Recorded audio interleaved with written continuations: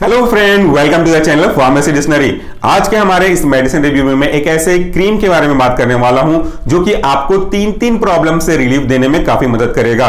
और ये तीन प्रॉब्लम कौन कौन से हैं? पहला, अगर वो बैक्टीरियल स्किन इन्फेक्शन है, अगर वो फंगल स्किन इन्फेक्शन है, या फिर आपके स्किन के ऊपर किसी तरह का सोरियोसिस हो गया है रेडनेस हो गया है ईचिंग हो गया है, या इन्फ्लामेशन हो गया है, या किसी इंसेक्ट ने बाइट किया हुआ है तो इनसे होने वाली प्रॉब्लम को सप्रेस करने के लिए काफ़ी यूज़ होता है। इस क्रीम का अगर आप ब्रांड नेम देखेंगे तो इसे बेटनोवेट सी के नाम से जान सकते हैं। इसके अलग टाइप भी आते हैं तो बेटनोवेट सी पे फोकस करिएगा।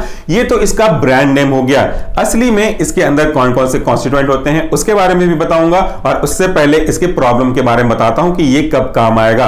कुछ लोगों को ये ड्रग प्रिस्क्राइब किया गया होगा, इसलिए वो सर्च करते हुए इस वीडियो तक आए हैं कि कैसे काम करता है, और कुछ लोगों ने ऐसे ही अपने नॉलेज को बढ़ाने के लिए वीडियो पे आया हुआ है। तो देखिए कई बार ऐसा होता है कि घर में बच्चे भी होते हैं, बड़े भी होते हैं। स्पेशल रेफरेंस तो मैं अगर बच्चों की बात करूँ तो वो हर चीज़ों से खेलते रहते हैं, कहाँ पे उनका बॉडी टच होता है, किस स्किन पे बॉडी टच होता है, किन चीज़ों को वो टच कर लेते हैं, किसी इंसेक्ट को टच कर लिया क्या, किसी फ्लावर की या किसी लीफ को टच कर लिया क्या, और उसको फिर टच करने के बाद अपने स्किन पे वो जब हाथ रखते हैं तो उसे कुछ ना कुछ केमिकल्स उनकी स्किन पे आने लगती है।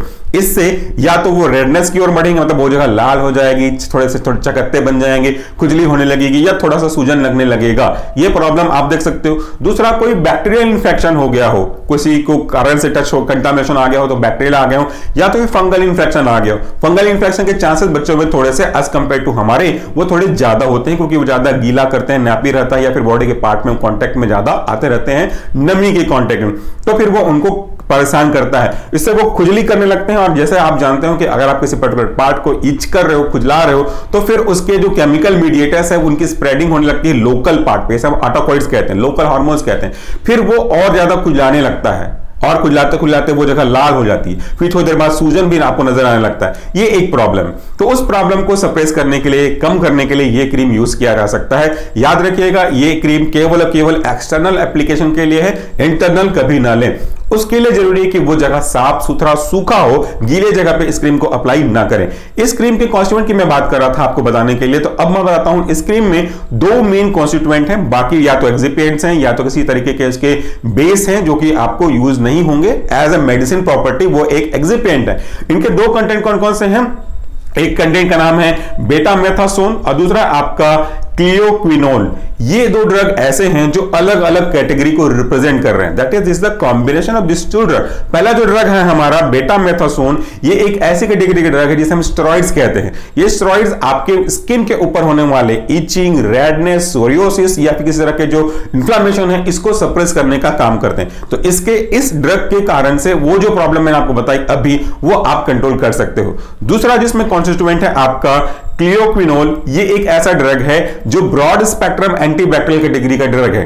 Although this is example of antibacterial इसके पास एक और प्रॉपर्टी होती है जिसे हम बोलते हैं एंटी फंगल प्रॉपर्टी एंटीबैक्टीरियल समझ में आ गया होगा नाम से कि ऐसा ड्रग जो बैक्टीरिया के अगेंस्ट में काम करता है दैट मीन बैक्टीरिया की वजह से होने वाले प्रॉब्लम को सप्रेस करता है बाय इनहिबिटिंग और killing the growth of bacteria दूसरा anti fungal drug that mean ऐसा ड्रग जो कि फंगल इंफेक्शन को कम करेगा, उस फंगस को जो कि रिस्पॉन्सिबल इस इंफेक्शन के लिए, उसको खत्म करने का काम करेगा। तो ये दो कैटेगरी के ड्रग है। तो ये जो आपका ड्रग है, इस तरीके के आपके बॉडी में यूज़ हो सकता है। As I said in earlier of the video कि ये बच्चों के लिए और बड़ों के लिए, यानी कि हमारे लिए दोनों के लिए इक्वली यूजफुल है। जिसको भी प्रॉब्लम नज़र आए, वो आप लगा सकते हो। ये एक ओटीसी प्रोडक्ट तो मैं नहीं कह सकता कि आप इसे यूज़ कर रहे हैं बट एक बार रिकमेंडेशन अगर आपको डॉक्टर देते हैं तो इसको आपको यूज़ करना चाहिए। वैसे ये स्किन के ऊपर है तो इसे आप अप्लाई कर सकते हो। मैंने कहा कि इसको ओटीसी नहीं कर सकते, क्योंकि इसमें एक रेड रिबन है, और ये इंडिकेट करता है कि ये प्रिस्क्रिप्शन ड्रग है। तो इसे आप यूज़ तो कर सकते हैं एक्सटर्नली बट उम्मीद करता हूँ कि आप चीज़ों को पहले जानेंगे, समझेंगे, कारण समझ में आएगा तो आप यूज़ करोगे। एक बात जाते जाते आपको और कह दूँ कि जो प्रॉब्लम्स हमने आपको बताई, उनका ट्रीटमेंट हमने बताया बट ये जो प्रॉब्लम है, वो exactly common bacterial infection common skin infection हो, ये ज़रूरी नहीं है। कई बार दूसरी प्रॉब्लम के सिम्टम्स के रूप में ये चीज़ें दिखने लगती हैं। तो आप इनको ट्रीटमेंट तो कर सकते हो सिम्टोमेटिकली लेकिन एक्चुअल में प्रॉब्लम क्या था, जिसकी वजह से ये प्रॉब्लम दिखने लगे, वो सप्रेस नहीं होगा। इसलिए सबसे पहले जानकारी लेना ज़रूरी है। डॉक्टर से मिल करके एक्चुअल कॉज को पता लगाना ज़रूरी है, ताकि आप उसकी कॉज तो खत्म कर सकें। तो आज के वीडियो के लिए इतना ही। आपका बहुत बहुत धन्यवाद कि आपने वीडियो को देखा यहाँ तक। Thank you so much again take care